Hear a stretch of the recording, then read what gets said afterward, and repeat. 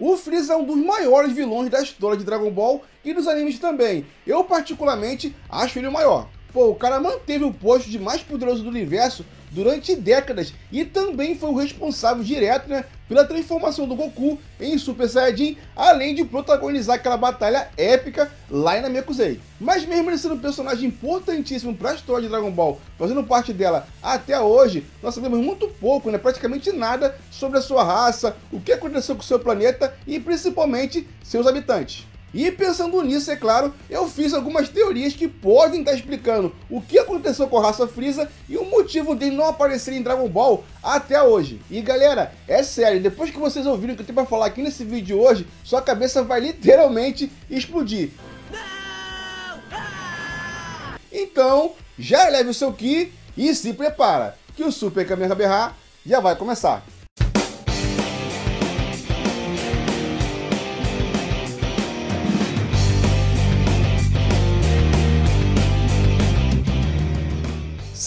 Galera, aqui o Rafael, sejam todos bem-vindos ao canal. E se você já curtiu o tema, já vai deixando o seu super Kamehameha no like para dar aquela moral e não esquece de se inscrever no canal e também ativar as notificações para ficar podendo dividir notícias, análise e muito mais que envolve todo o universo Dragon Ball. E se você quiser ajudar ainda mais, compartilhe esse vídeo aqui com as pessoas que também gostam de Dragon Ball, assim como você, e também entre para o nosso grupo de membros, porque assim você incentiva cada vez mais o canal a trazer vídeos de qualidade, assim como esse daqui, né, especialmente para vocês. Agora chega de enrolação e vamos embora pro vídeo. Bom, galera, desde que o Freeza surgiu lá em Dragon Ball Z, na sua própria saga, né, lá em Namekusei, a gente teve várias aparições do Freeza em vários prólogos de Dragon Ball, né? A gente teve lá aquele especial do Bardock, em que ele apareceu lá pra, pra matar o Bardock e destruir todo o planeta Vegeta. Depois também a gente teve é, aparições do, do, próprio Freeza é, na saga Cell, quando o Cell explicou lá sobre as suas células. A gente também teve a aparição do Freeza agora atualmente em Dragon Ball Super, que ele, que ele retornou, ele voltou à vida. Antes disso, ele apareceu também no filme é, Dragon Ball Z, O Renascimento de Freeza, que o filme era dele, né? Basicamente uma saga dele. E depois disso, a gente viu o Freeza no Torneio do Poder e também no filme Dragon Ball Super Broly, galera. Ele apareceu tanto naquele prólogo, quando ele é, tomou o poder, tomou o poder não, quando ele recebeu o poder de ficar com o exército do, do seu pai Cold, é, no filme Dragon Ball Super Broly, e também ele apareceu na, na, história atual, né, quando ele, ele provocou aquela, aquela confusão ali entre o Goku, o, o Broly, Vegeta, então o Freeza está sempre participando da história de Dragon Ball como um todo. Tanto é que ele é o principal responsável da história atual do mangá, porque se não fosse o Freeza, ela nem estaria acontecendo. Então o Freeza é muito importante para a história de Dragon Ball. Só que mesmo com todas essas participações que ele teve é, em Dragon Ball até os dias de hoje, a gente não sabe praticamente nada. A única coisa que a gente sabe, né, é que é uma raça muito poderosa, com potencial imenso, né, gigantesco, tanto é que ele treinou só quatro meses lá na sua saga, na saga, Freeza, na saga Gold Freeza, e ficou tão poderoso quanto o Goku Super Saiyajin Blue. Bom, e eu pensando em todos esses acontecimentos de Dragon Ball Z e Dragon Ball Super, eu resolvi fazer algumas teorias aqui, né, para tentar explicar para vocês o que mais ou menos aconteceu com a raça Freeza e seus habitantes também. Bom, e a primeira teoria é a seguinte, já que a raça do Freeza é bem antiga e viveu bastante, vive bastante tempo, né, a gente sabe isso porque o Freeza, desde que apareceu naquele prólogo lá do, de Dragon Ball Super Broly, ele assumiu o poder lá do pai dele, até os dias atuais, ele não envelheceu praticamente nada. E se passaram, galera, simplesmente 40 anos. Então a gente sabe que é uma raça que vive bastante tempo. E é justamente por causa disso, né, da raça do Freeza viver bastante tempo, ser uma raça bem antiga, eles podem muito bem ter cruzado lá com o Kid Buu e com o Mago Bibidi também. E a gente sabe que a motivação do Kid Buu é destruir planetas. Então ele pode muito bem, né, junto com o Mago Bibidi, ter cruzado com o planeta da raça do Freeza e resolvido destruir justamente esse planeta. E por mais que a raça Freeza tenha tanto potencial, assim como o Freeza e seu pai também, eles não foram capazes de deter essa ameaça chamada Kid Buu. Mas mesmo achando que essa teoria faz todo sentido, eu também acho que ela não faz, por que eu tô falando isso? Porque desde que o Freeza voltou lá no filme Dragon Ball Z, o Renascimento de Freeza, e em Dragon Ball Super também, toda vez que ele citou lá o Majin Buu, ele não passou para mim, pelo menos para mim, né? Ele não passou esse medo que ele deveria ter do Majin Buu, do ser, né? Que destruiu o seu planeta natal. E por mais que ele não tenha presenciado essa situação, ele escutou do seu pai, né? Ele mesmo disse lá que o pai dele disse para ele não se meter com o Majin Buu. Mas mesmo ele tendo escutado do seu pai, ele deveria ter esse medo, porque se seu pai falou para ele que o cara destruiu seu planeta, e, e ele te, deveria ter medo dele por causa desse motivo, galera, ele deveria falar de uma forma mais amedrontado, né? Não da forma que ele falou lá em Dragon Ball Super e no filme também. Mas eu quero que se essa fosse a história oficial, né, se eles contassem, resolvessem contar a história dessa maneira, de que o Kid Buu destruiu o planeta do Freezer lá no passado, eu iria aceitar tranquilamente de boa, porque faz total sentido.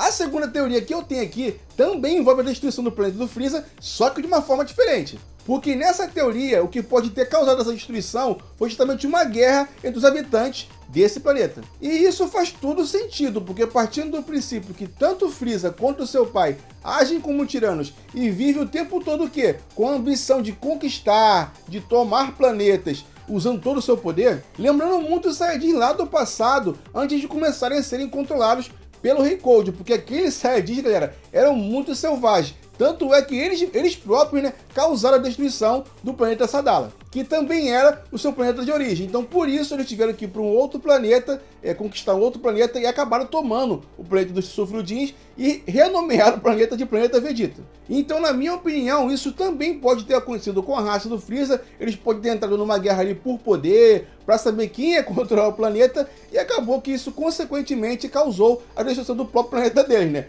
E por causa desse motivo, Todos os habitantes do planeta foram exterminados, com exceção, é claro, de Frieza e o seu pai.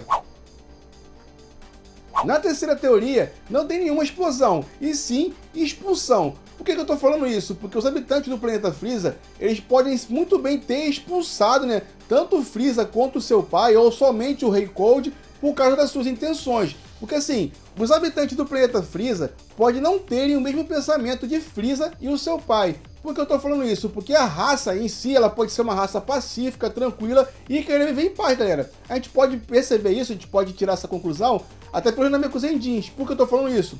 Porque o próprio Piccolo da Mao, ele era um tirano, ele queria tomar tudo na base da força, na base do seu poder. Porém, os Namekusei no, no modo geral, são tranquilos e pacíficos, assim como o Kami-sama, assim como Muri e como o Patriarca também. E quando eles perceberam que o Freeza, seu pai, ou só o Rei Cold na época, tinha a intenção de dominar o planeta e tinha intenção de dominar outros planetas também, eles fizeram o quê? Acabaram colocando eles dois, né, ou só o Rei Cold, para fora, se uniram para colocar o Rei Cold e o Freeza para fora do planeta. E o motivo da gente não ter visto nenhum ser da raça do Freeza, ou até mesmo seu planeta, pode justamente ser esse, deles serem pacíficos, não, não oferecerem nenhum perigo para o universo, então eles ficam lá quietinha deles em paz e acabam não sendo percebidos por ninguém que está ao seu redor. E também tem o fato do universo 7 ser gigantesco, e o planeta da raça do Freeza pode estar localizado justamente em outra galáxia. Então pode ser por esse motivo que a gente não tenha visto nenhum ser da raça do Freeza perambulando por aí, justamente por causa dessa distância toda que se encontra o planeta. E já que eu falei em galáxias, o Cooler, por exemplo, o irmão do Freeza, ele pode ter sido deixado pelo Rei Cold em uma dessas galáxias para ser o governante de lá. E para mim, galera, isso faz o total sentido, porque já que o Rei Cold passou o seu poder, né, a sua, o seu mandato para o Freeza no passado, ele pode muito bem ter governado uma outra galáxia e ter passado esse, esse, esse governado, né, esse poder lá para o Cooler tomar conta também. E talvez isso explicaria o fato do Rei Cold estar sumido por tanto tempo, né, porque deixou lá o poder com o Freeza e não apareceu mais. Pelo menos a gente não, a gente não viu isso nem em Dragon Ball Z e nem em Dragon Ball Super. A gente só viu em Dragon Ball Super em Dragon Ball Super Broly no caso. A gente viu ele aparecendo para passar o, o, o, seu mandato lá pro Freeza e depois ele sumiu. E só apareceu em Dragon Ball Z lá para ajudar o Freeza a derrotar o Goku e acabou sendo derrotado lá pelo Trunks, né? Então o motivo dele ter ficado tanto tempo fora de cena pode ser justamente esse, porque ele estava lá com o Cooler. Bom, e se isso fosse realmente verdade, abriria uma grande margem para o Cooler aparecer no futuro de Dragon Ball Super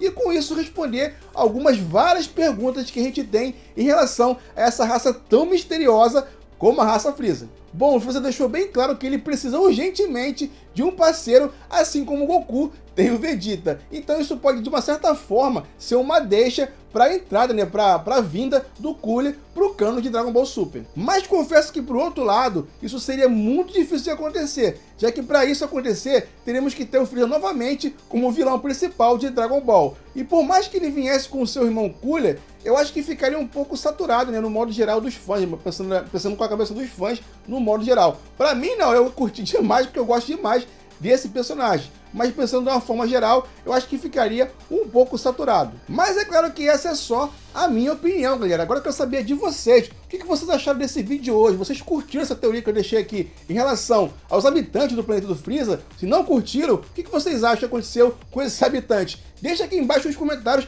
a sua opinião para gente trocar essa ideia aí de fã para fã, beleza? Muito obrigado por me acompanhar até o final desse vídeo. Eu fico por aqui e para vocês um Kamehameha!